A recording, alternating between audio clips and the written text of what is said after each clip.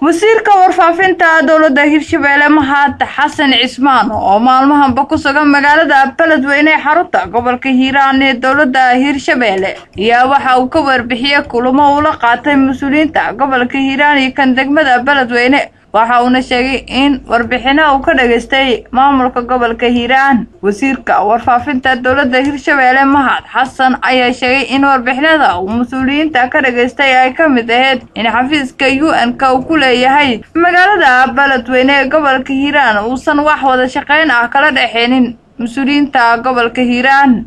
Waxa uuna sheegay in xiriir ay la sameeyeen mas'uuliyiinta u n-ka ee fadhigeedu yahay beledweyne balse dhankooda uu ku yimid gaabis taasina ay caddeyn u tahay in u n-ka wax wada shaqayn ah kala dhexaynin dowladda hirshabeelle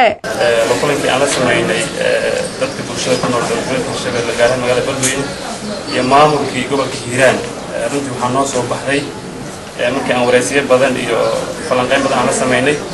in wada shaqaynta ka dhexayso bulshada reer hiiraan gaarahaan magaalada beledweyne iyo un-ka xafiiska ay ku leeyihiin magaalada beledweyne iyo wada xiriirka ka dhexeeya maamulka iyo un-ka inuusan fiicnayn oo maalmihii u dambeeyey cayojiid badan xaggooda uu ka jiray. Annaguna markaan soo gaarnay magaalada beledweyne oo ogaanay arrintaas inay jirto waxaan samaynay dalab. Aan ka dalbanaynay un-ka in ay nala kulmaan annagoo ay golihii wasiirada uu na horkacay madaxweynaha. Runtii waxaa meeshaas nooga soo baxday inuu cayojiid badan ka jiro kulankii aan dalbanay oo heer madaxweyne ahay.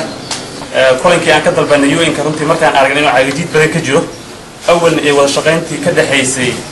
shacabka reer hiiraan iyo maamulka ay kala dhexaysay un-ka uusa fiicnayn.